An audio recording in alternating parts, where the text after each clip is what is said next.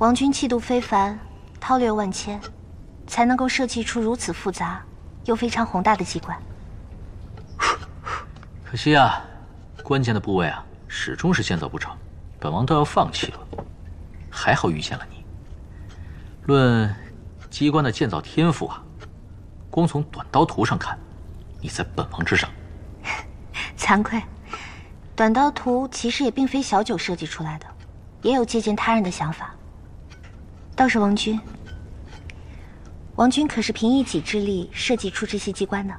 那是。本王从小就爱钻研这些东西。可是，所有王子们小时候不是应该去钻研治国之策吗？为何王君喜欢钻研机关呢？年幼的时候，父王很少管我，我就有大把闲暇的时间来学习这些驳杂的东西，譬如弹琴啊、饮茶呀，包括这些机关。可是王君不是储君吗？为何先王会不管你啊？啊，恕小九多嘴，问了不该问的，望王君恕罪。本王愿意对你说，本王刚出生的时候，母后就先去了，父王也很少来看我，我一直以为他是忙于朝政，可是后来才发现，不是这样。父王应该是太思念母后，怕见到我，再勾起他的丧妻之痛吧。原来如此。王君出生于帝王之家，童年间还如此不易。王君也有这么可怜的一面，我真想上去抱一抱他。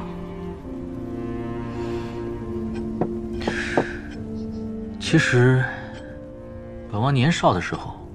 特别埋怨父王，但近来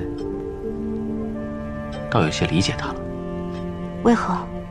遇到你之前，本王很难理解父王对母后的爱。一个人如何能对另一个人有如此深的爱意？遇到你之后，本王终于懂了。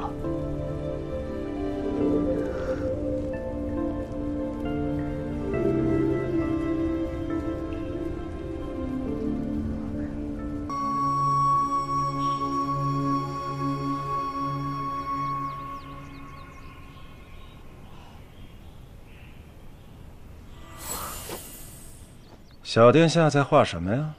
机关图。近日王君经常带我去王陵，让我帮他设计机关。哦，那你们俩岂不是有很多独处的时间？那当然了。